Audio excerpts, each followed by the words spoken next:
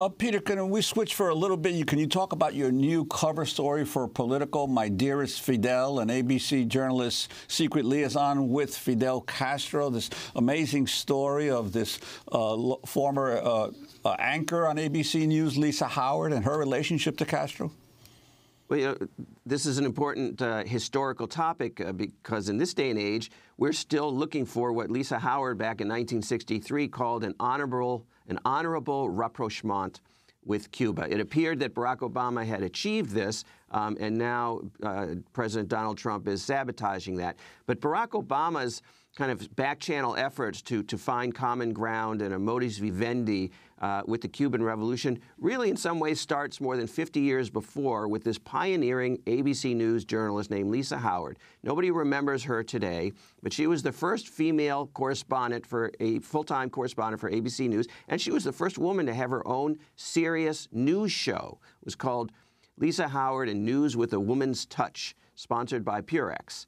Uh, and it was geared as ABC put it, uh, uh, uh, for for women by by a woman. Um, but she uh, was a, a, really tenacious reporter, and she set her sights on getting an interview with Fidel Castro, and she finally scored one uh, in uh, the spring of 1963. And, uh, you know, this was very important. In those, that day and age, Fidel was just dismissed as, a, as, a, as, the devil incarnate, a communist in the Caribbean.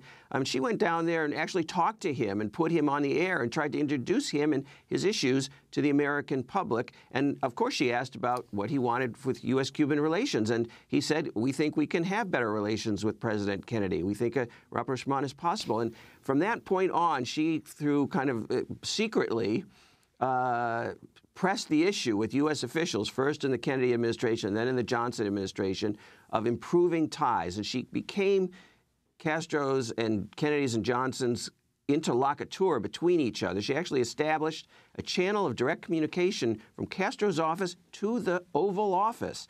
And this is a history that's really not very known. William Leo LeoGrande and I wrote about it a bit in our book, um, Back Channel to Cuba, and now I've written the, the fuller story uh, based on her personal papers uh, in Politico uh, magazine. It's, it's, it's quite a story, and it has, I think, really great relevance to today. We are still looking for what she called that honorable rapprochement. Peter, I want to turn to an excerpt of Lisa Howard's 1963 interview with Fidel Castro, which aired on ABC News.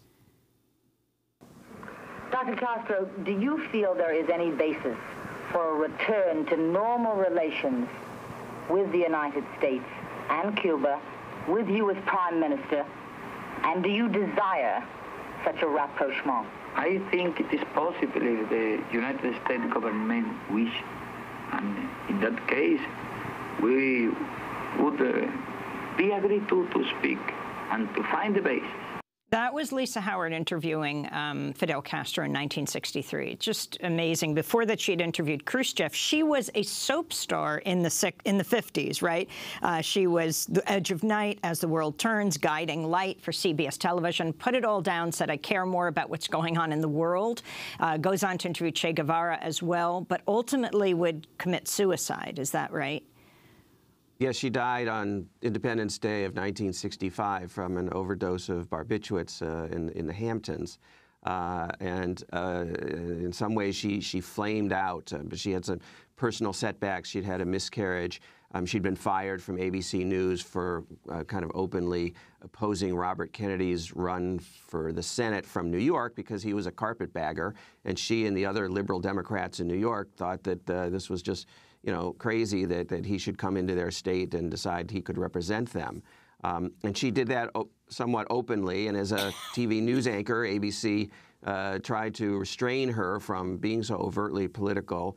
Uh, and when she wouldn't cooperate, they actually terminated her her appearance and you on the only show. found out about her personal, intimate relationship with Fidel Castro because of the documents that have since come forward. She nor he ever talked about them, the relationship.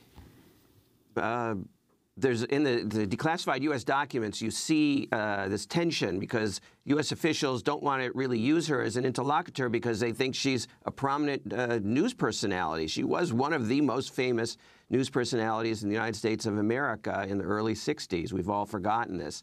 Uh, and they were worried that she would go on TV one day and talk about this back channel diplomacy that was going on and break the story and embarrass them. And, and, uh, and so they were very reticent to, to, to deal with her, but she tenaciously pushed it. She repeatedly told them that she would be discreet, and she was. She took the, the secret of this relationship with Castro, the interaction, the secret diplomacy to her grave. Castro himself um, also never really spoke about it uh, publicly.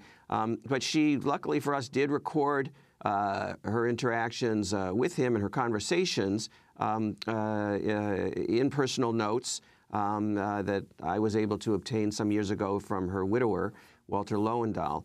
And, um, and um, we have this important history, and it's just one of those great examples of two things. One, the historical foundations of the need to normalize relations with Cuba and the fact that it's been tried before and that it's a great story. And two, she really was a, a citizen diplomat, if you will. She self-appointed herself as a, as a secret emissary between Cuba and the United States. And, and if Donald Trump and the, and the Trump administration uh, is not going to have civil relations with the new government of, of Cuba, then it's really up to, to us Americans to be that type of civil diplomat and conduct our own diplomacy. Peter Kornbluh, we want to thank you for being with us, directs the Cuba Documentation Project at the National Security Archive at George Washington University. We'll link to your piece about Lisa Howard and Politico, My Dearest Fidel, an ABC journalist secret liaison with Fidel Castro.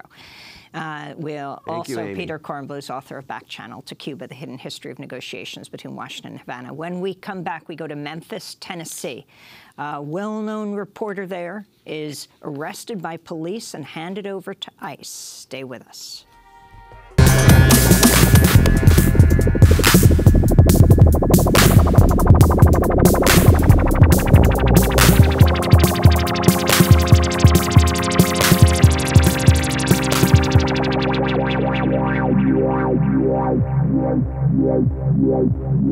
Yeah.